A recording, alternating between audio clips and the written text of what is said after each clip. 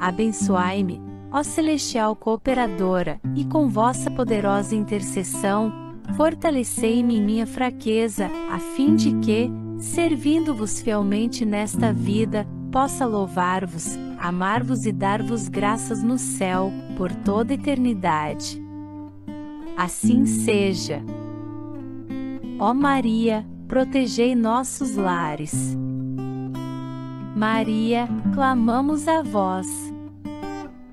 Ó Mãe, amparai os idosos. Ó Mãe, dirigi nossos jovens. Ó Mãe, defendei as crianças. Ó Mãe, convertei os que erram. Ó Mãe, socorrei os que sofrem. Lá nos céus, rogai a Deus por nós.